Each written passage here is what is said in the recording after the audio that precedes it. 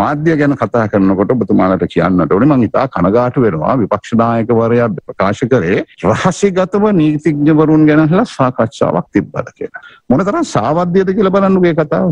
හැබැයි රටක නීතිඥවරුන් ගෙනහලා යම් කිසි සාකච්ඡාවක් කරන්නේ ඇයි අපට නීති ගරුක විය යුතු නිසා. මෙහෙමනම් නීතිඥවරුන් නෙමෙයි අපි කතා කරන්න ඕනේ වෙන කාට හරි. පොළු මුගුරු අරගෙන යන කණ්ඩායම, පුරුදු පොළු ගෙනියන කණ්ඩායම. ඒ වගේ කණ්ඩායම. එහෙම ක්‍රමවේදයක් වර්තමාන රජයේ සම්පූර්ණයෙන්ම බැහැර කරලා තියෙනවා. මතක තියාගන්න නම් මේ channel සියල්ල ජනතාව සතු දෙපළ. ඒක කාගවත් පෞද්ගලික බූදලයක් නෙමෙයි. රටේ සාමය නැති කරන්න කතා කරනවනම් ජනතාව රසමගිය ඇති කරන්න කතා කරනවනම් යම් කාලෙක LTT ත්‍රස්තවාදය තියෙනවලා ඒකට උඩ ගෙඩි දෙන්න කතා කරානම් ඒ කාලය තුළ එවැනි දේවල් වලදී නියත වශයෙන්ම නීතියේ රාමුව තුළ ක්‍රියාත්මක කරන්න මාධ්‍ය ඇමතිවරය හැටියට සිටින තාක්කල් මම පසුබට වෙන්නෙත් නෑ විවස්ථාවට ගරු කරමින් කටයුතු කිරීම මගේ වගකීමක් සහ යුතුයකමක් මෙරට ගොවි ජනතාව කාබනික වගාවෙන් ඉදිරියට ගෙන යාම සඳහා දිරිමත් කිරීම සඳහා ආධාර ක්‍රමයක් යෝජනා කරලා තිබෙනවා. ඒ වෙනුවෙන් තමුන්ගේම කාබනික පොහොර නිෂ්පාදනයට ඉදිරිපත් වන ගොවීන් සඳහා හෙක්ටයාරක් සඳහා රුපියල් දොළොස් දහස් පන්සියක ආධාරයක් ලබා දෙන්නටත්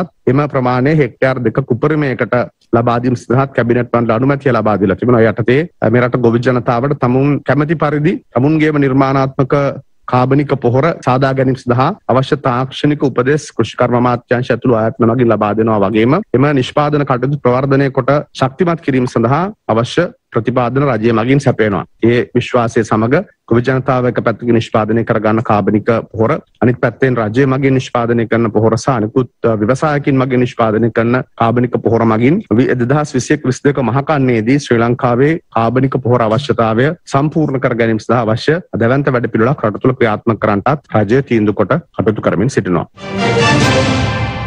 දිනපතා අලුත් වීඩියෝ සහ ප්‍රවෘත්ති නැරඹීමට ඉහත බටන එක ක්ලික් කර සියත TV සබස්ක්‍රයිබ් කරන්න.